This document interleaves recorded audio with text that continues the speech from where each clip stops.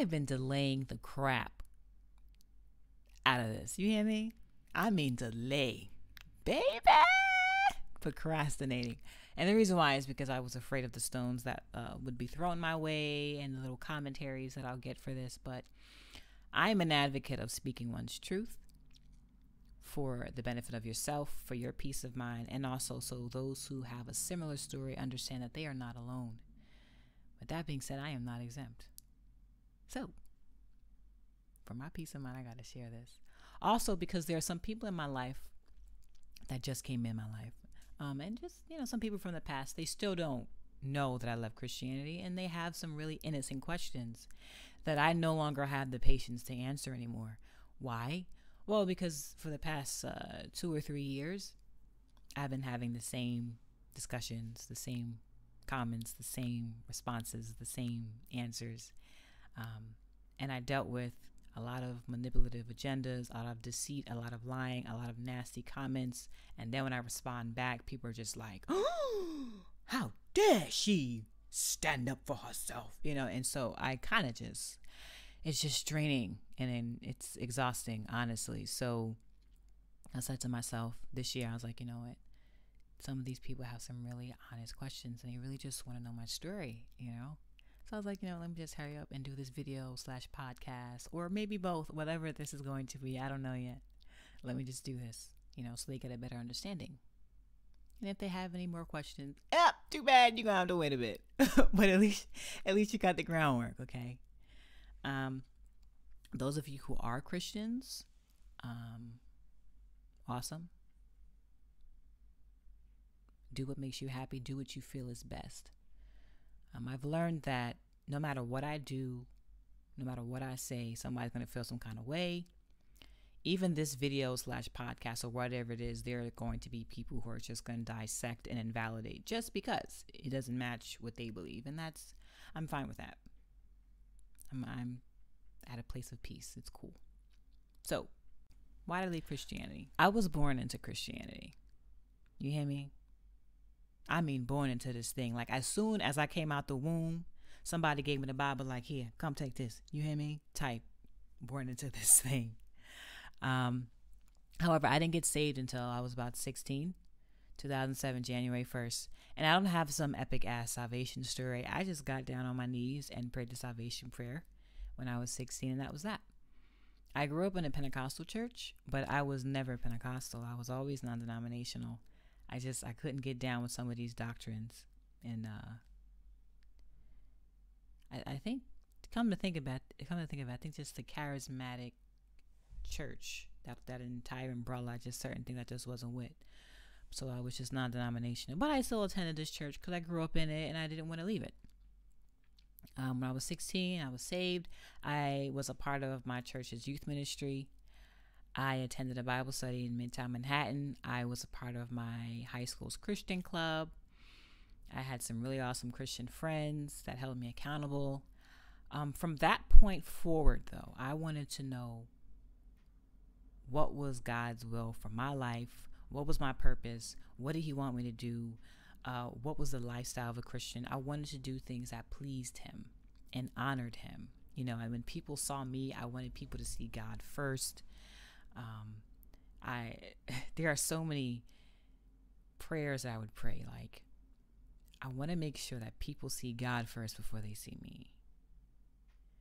You know, I want them to see a light within me and then know it's God, and then let it be me that they see. And I continued these desires, and I had these hopes, and I pursued these things even when I went to a Christian college. And, uh, you know, I met some really great friends that are still my closest friends today. Um, typical Christian girl on a Christian campus uh, various doctrines, various voices. I was challenged. It was it was a really great experience. It was. However, you know, come to think of it, while doing this vlog and like writing it out, I realized I was always a skeptic. Like I, I really wasn't one to kind of just blindly follow somebody because they said something. I wasn't someone who was just going to take scripture for what it is. I had to really research and go in the background and get some historical context. What do they mean? You know, um, when we read stuff, we always put our perspectives and our perception and, and what we've been taught and our ego into it. You can't do that with scripture, you know. We don't do eisegesis. We don't do eisegesis. We don't do that over here, you know. Um, and I did that, but well, I didn't do eisegesis. I'm saying I, I really like dug into, I, I dug into the word. Um, but I was really skeptic about a lot of things that were going on in the Bible, a couple of scriptures that kind of raised some red flags. But I didn't say anything until 2012. And I don't remember. I, I don't remember what happened, but something happened, or maybe it didn't. But in 2012, I just was like, you know what, God, listen, you know, I got these doubts. You know, I'm skeptical about these things. So I'm not going to pretend anymore. I'm going to be real about it. And so I went to a Christian leader and I asked, I said, listen, God created this world, made human beings, Adam and Eve, uh, and we are punished for a couple, Adam and Eve, for what they did all these years later. Oh, but wait, no, you brought your son, slash, you coming into the flesh, depending on what you believe when it comes to the Trinity, to save us from all our sins, people's from the past sins, people in the future sins, only if we receive you, of course. Because if not, we just going straight to hell. Because you know you created us and you created the world. And I said to this leader that that doesn't make any sense to me. It just sounds like some really controlling person's sick ass joke. I just don't get it. And this person told me, Well, who are you to judge God? And I thought to myself, A human being, yes. And on the outside, I said, Well, how is it that I can argue his existence without judging him? Don't I have to judge him in order to argue his existence?